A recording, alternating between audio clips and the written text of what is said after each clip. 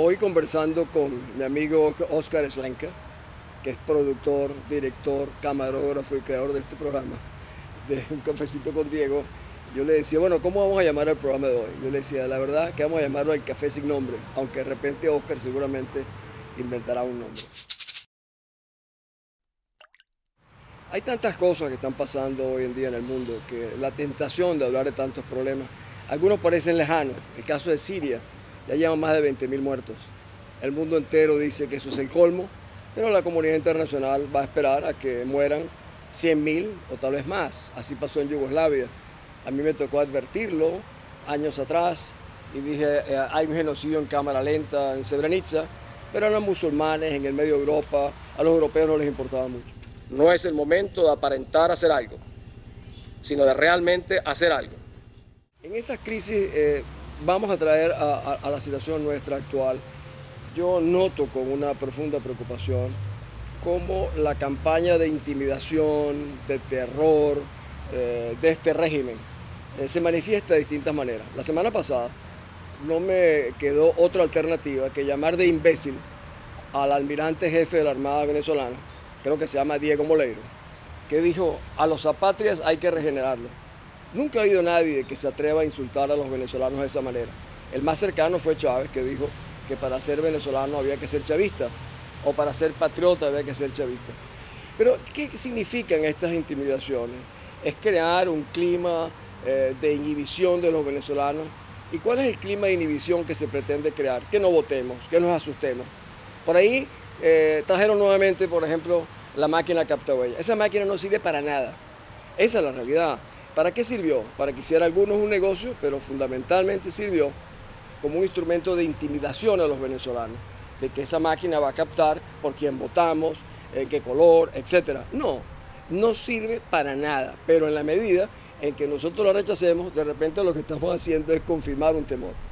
Y el gobierno lo utiliza porque sabe perfectamente que ya nos ha ido arrinconando, ha ido como reblandeciendo a los venezolanos e inspirándoles temor y cada vez empuja más allá eh, sus acciones. El, caso es la máquina. Pero hay otras.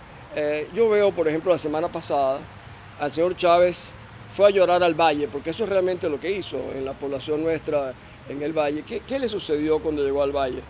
No habían, no sé, ni mil personas, lo eh, cacerolearon, una mujer le decía unas cosas terribles.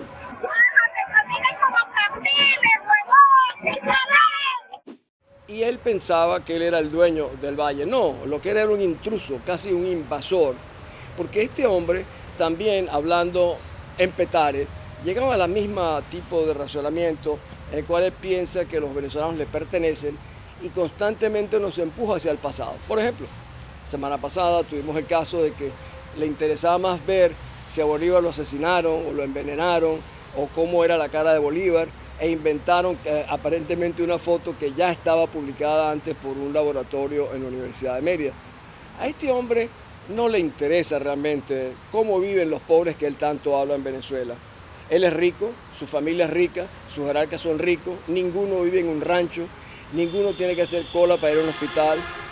El señor Chávez ha sufrido de cáncer, como ya lo ha explicado, pero él no hace colas, él no tiene que esperar a ver si en el hospital de los Magallanes hay equipos para hacerle radioterapia o quimioterapia. No, todos los médicos están a su disposición. Es el enfermo más caro que ha tenido la humanidad a costa del patrimonio de una nación. Entonces, en el fondo no, conoce la vida de la, gente normal.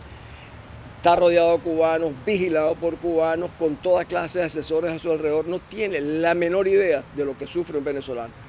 Habla constantemente de los pobres. ¿Para qué? Porque los usa. Se monta sobre las esperanzas de los pobres para crear expectativas que no puede satisfacer. ¿Cuál es el temor que yo como venezolano siento? Yo aquí estoy en un patio tranquilo, nadie me va a atacar en este momento, no me estoy muriendo de hambre, no estoy buscando empleo porque lo tengo, no sufro lo que sufre la mayoría de los venezolanos. Y eso es lo que a mí en el fondo me hace sufrir, pensando que no les están buscando solución, están buscando realmente cómo ejecutar esa sentencia que yo vengo diciendo, que Chávez ha ejecutado a muerte, ha sentenciado a muerte el futuro de los venezolanos, sobre todo de los más pobres y de los más jóvenes. Esa es una sentencia que estamos obligados los venezolanos a detener ¿Y por qué eh, insisto sobre el tema del miedo? Porque el miedo es ese manto en el cual nos quieren envolver a todos los venezolanos para no salir, pero sobre todo para no votar. Estamos llegando a la hora de la verdad. La hora de la verdad es el 7 de octubre. Esa es la hora en la cual los venezolanos vamos a imponer nuestra voluntad.